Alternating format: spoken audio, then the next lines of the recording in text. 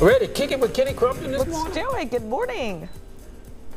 Good morning, Christian. Good morning, Wayne. Yes, talk about breakfast of champions. Hey now, Hey uh, now. the Browns are going to be champions, hopefully. But breakfast of champions, we're talking about the taste of the Browns, and we're going to have close to 40 of the best chefs in the city, and Fabio's also coming.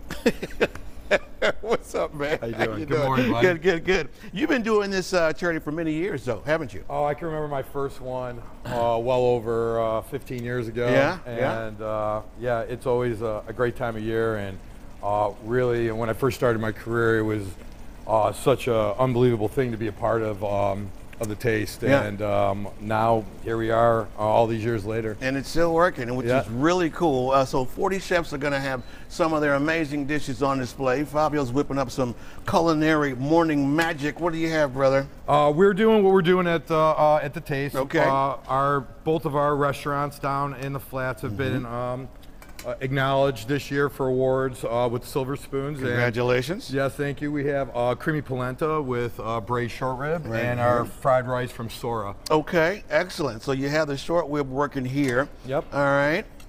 So while you're while you're making that making the magic there, what do we have here? This is our chicken fried rice Okay. uh, from Sora. Gotcha. Um, just your your traditional uh, fried rice. Mm-hmm. Uh, we'll be serving that at the event as well. Excellent. Right here we have. Our our famous uh, Meatballs. Mm-hmm. uh, Salerno meatballs, um, and we have our crispy uh, our crispy rice from Sora as well. over here. Yep. Which is great stuff on the top. Yep. All right, and you're gonna put the finishing touches on We this. are. We're gonna. Okay. So um, you mentioned it earlier. I'll give you a little bit more room to expand. Why, you know, the food bank is something that's huge. Why was it important? Because you guys have tons of charities. You have the big gala tonight.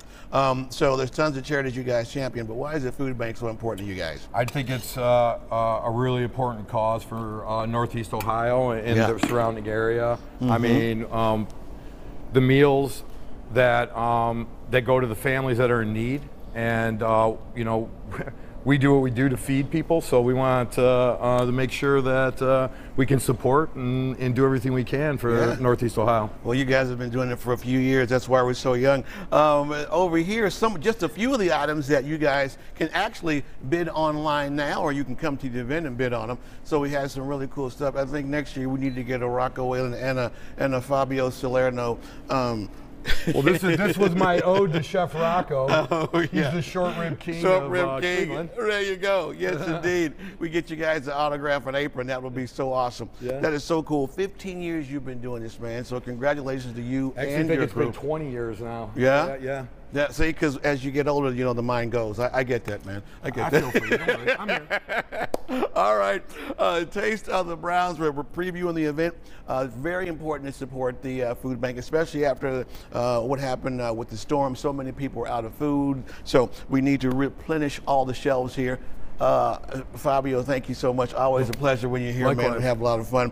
I see somebody named Rocco Whalen in the background. We're going to talk about talk to that guy when we come back. But we're also going to talk to some volunteers who are going to start in just like less than 30 minutes getting food ready to feed everyone here in Cleveland. a All right, back to beautiful you thing. guys in the studio. Yeah, it takes a lot Thank of volunteers. Mm-hmm. Yeah, the food bank, what a great resource here in Northeast Ohio. They do a Yeah. wonderful Yeah, job. Yeah, they do.